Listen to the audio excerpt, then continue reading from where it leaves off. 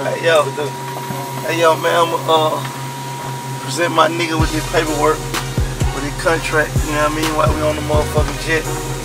You know what I mean? My nigga, that shit, that shit shot right there. Sure. You know what I'm saying like, welcome my nigga to this motherfucking CMG epic shit. The right way. Welcome to this lifestyle. Let them know this paperwork. Niggas word bonds is mean more than anything, but you know we gonna handle the business professional too. At the end of the day, this shit shot, homie. You know what I'm saying? You get out. You get out what you put in this shit. Understand that what you get is in your heart or how much hustle, how much drive you put in this shit. That's what you really got this shit. Like whatever you put in, that's what you get out. You know what I'm saying? Niggas you finna put the whole world on this shit, you understand? What's going on, man. Some motherfucking moving, man. Shit a dream come true, my nigga. Hear me? What's that? For real. Shit a dream come true. That's heavy right there. Sure.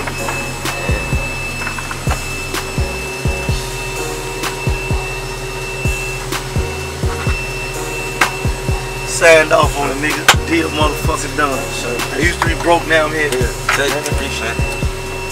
Dream come Right? true, man. Shit unbelievable, man. Nigga, I'm talking about, nigga, I signed a deal on a jet. Private jet. Be we in, be. Hip. What you know about a young rich nigga getting money? Everybody call him hip.